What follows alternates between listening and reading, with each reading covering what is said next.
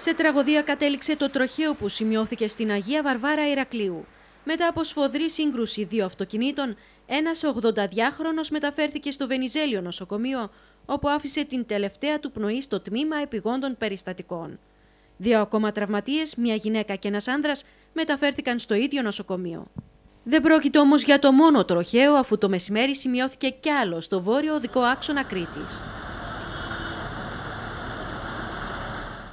Είναι η στιγμή που απομακρύνεται με τη βοήθεια γερανού αυτοκίνητο στο οποίο εγκλωβίστηκε λίγο νωρίτερα ένας οδηγός. Ο άνδρας τραυματίστηκε στο χέρι, φέρει θλαστικό τραύμα και μεταφέρθηκε με ασθενοφόρο στο νοσοκομείο.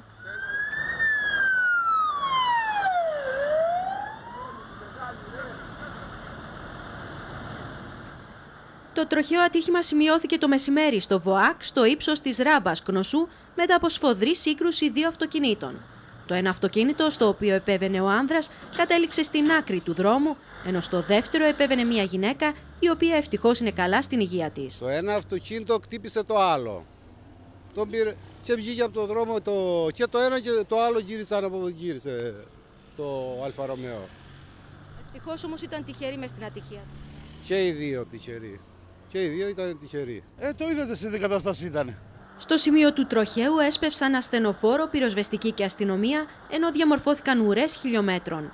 Η εθνική οδός μπλόκαρε για αρκετή ώρα και οι οδηγοί παρέμεναν κολλημένοι στο τιμόνι και μάλιστα σε ώρα αιχμής για την πόλη του Ηρακλείου. Ναι, εμείς δυσκολευτήκαμε πάρα πολύ να έρθουμε εδώ.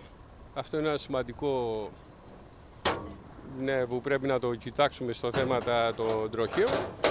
Ε, δεν ήταν ελεύθερη η Λέα και ήταν πολύ δύσκολο να έρθουμε εδώ. Αυτό. Η ουρά έφτανε μέχρι στον κόμμα της Αλικαρνασσού.